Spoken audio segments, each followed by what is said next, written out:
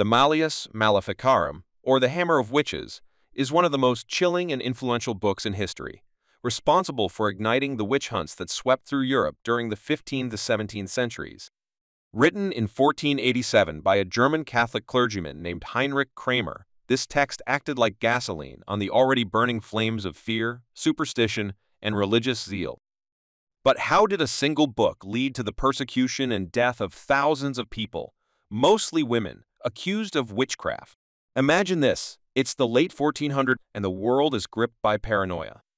Strange events are happening. Crops failing, sudden sicknesses, unexplained deaths, and people are looking for something or someone to blame. Into this atmosphere of fear steps Kramer with a book that claims to hold the answers. His message?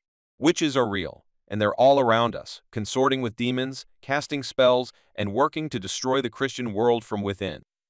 The Malleus Maleficarum was more than just a guidebook.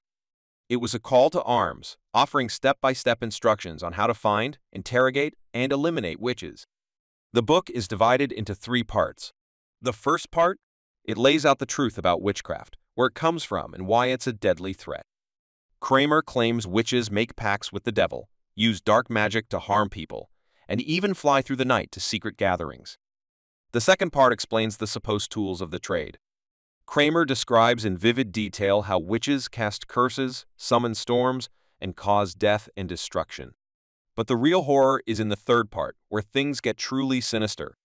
Here, Kramer explains how to hunt witches using torture to force confessions and punish them with death. And here's the most shocking part. He insists that most witches are women.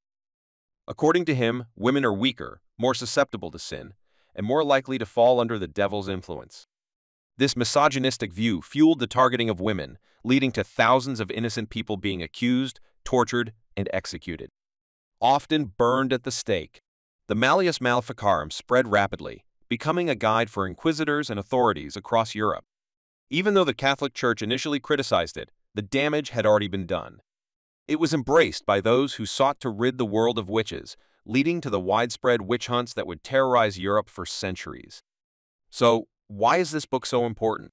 Because it shows how fear, superstition, and religious extremism can take hold of a society and lead to devastating consequences.